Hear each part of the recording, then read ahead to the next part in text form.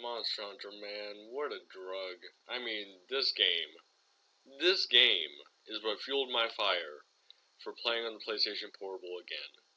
And, you know, this is also what started the generation I was meant to be in Monster Hunter. Monster Hunter Freedom Unite. Mwah. This is one of my favorite games of all time, people. I can't even begin to express my love for this game. From the iconic Rathian and Rathalos to the newer Narga... Nargacuga. What kind of a name is that? Jeez, Capcom, get your game up. All puns intended. Anyway, this game is a full-on remake of Monster Hunter Freedom 2. Worse than all. It has some issues, like like UI only a mother could love, many different problems with hitboxes, and don't even get me started on the graphic. Bad stuff aside, this game is a thing of beauty, and has a big sword in it, so you know it's a good. Right?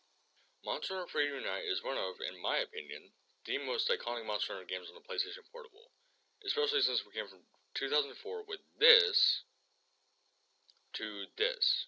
The gameplay gets repetitive, yes, but the sheer variety of monsters are enough to get you at least 40 hours clocked in this game alone. But there is one downfall to this game that even the veterans of Monster Hunter can't stand, and that is the graphics.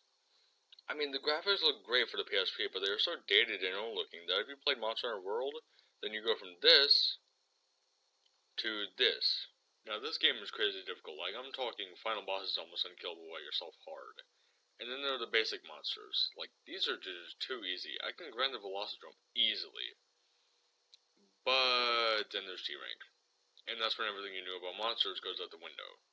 You see, G rank pits you only against only the hardest monsters, and lets you take care of yourself in these certain situations. Now let's look at the only finest monster in this game.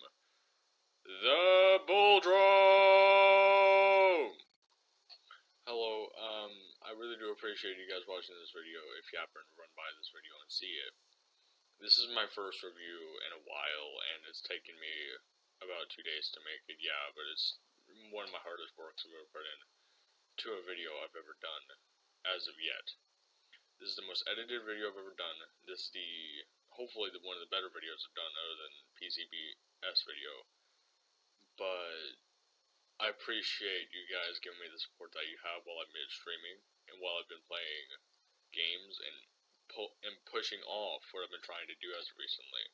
And I really do appreciate that. So, you know, thank you. Thank you very much for watching this video if you happen to run by it. Bye bye.